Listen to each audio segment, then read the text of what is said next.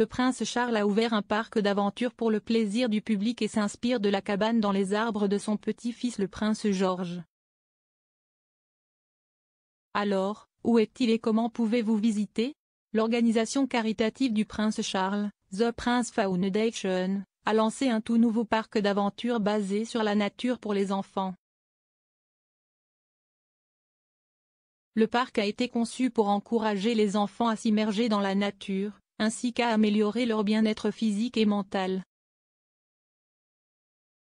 Jeudi, le prince Charles a rendu visite au nouveau site avec des écoliers locaux alors qu'il testait tous les nouveaux équipements. Comment visiter le parc d'aventure du prince Charles?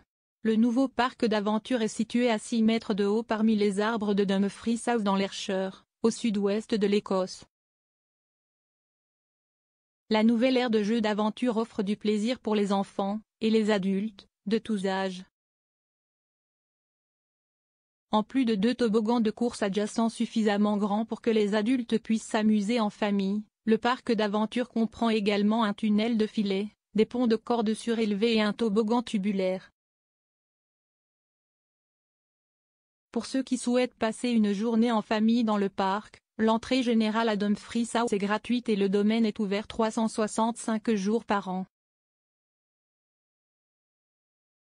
Comment le nouveau parc de jeux est-il lié à Prince George?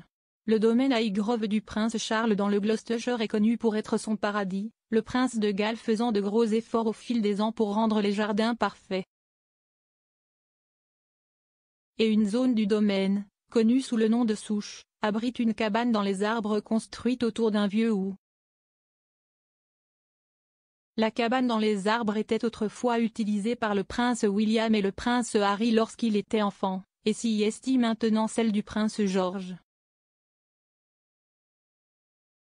Comme la cabane dans les arbres est basée sur un hou, elle est surnommée Holyrood House, un clin d'œil à Holyrood House en Écosse, la résidence officielle de la reine dans le pays.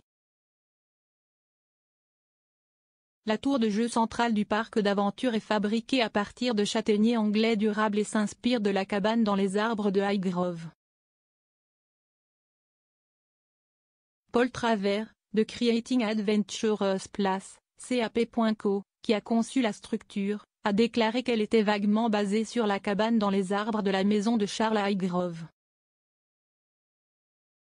Il y a quelques années, Charles a dirigé un consortium d'organisations caritatives et le gouvernement écossais pour s'assurer que Dumfries House était sauvé pour la nation.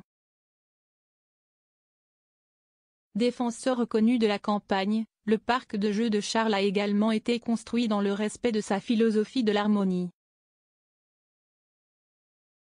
Gordon Neal, directeur exécutif de la Prince Foundation, a déclaré Le travail de la Prince Foundation s'inspire de la philosophie de l'harmonie de Sarre le prince de Galles, en comprenant l'équilibre, l'ordre et les relations entre nous et le monde naturel, nous pouvons créer un avenir plus durable. Encourager les jeunes à s'engager et à apprendre de la nature est au cœur de tout ce que nous faisons en tant qu'organisme de bienfaisance. Nous sommes ravis d'élargir l'offre d'activités nature proposée aux visiteurs du domaine avec l'ouverture de notre nouvelle ère de jeux d'aventure et avons hâte de voir les familles en profiter.